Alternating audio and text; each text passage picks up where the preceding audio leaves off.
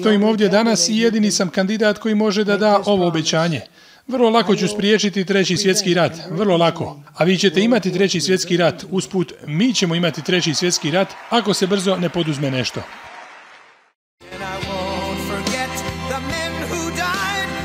Za neke je politička smetnja vođa s krhkim egom, ali Donald Trump još jednom je pokazao da ostaje dominantna figura u američkom republikanskom pokretu.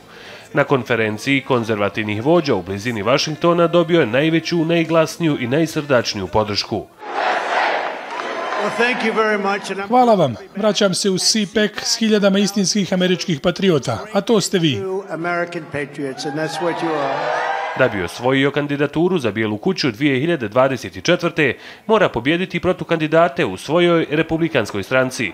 Okupljeni u dvorani podržavajući Trumpa kažu da ih druge opcije neće pokolebati.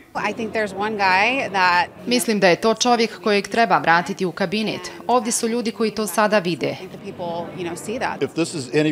Ako predstavlja ono što ljudi misle, on će imati veoma lijepu 2024. godinu.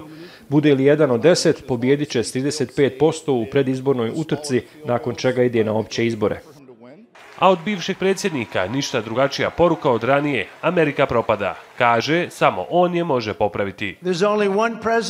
Samo jedan predsjednik u historiji uspostavio kompletan establishment u Washingtonu. Kada pobjedimo 2024. učinit ćemo to ponovo još jače, brže i bolje.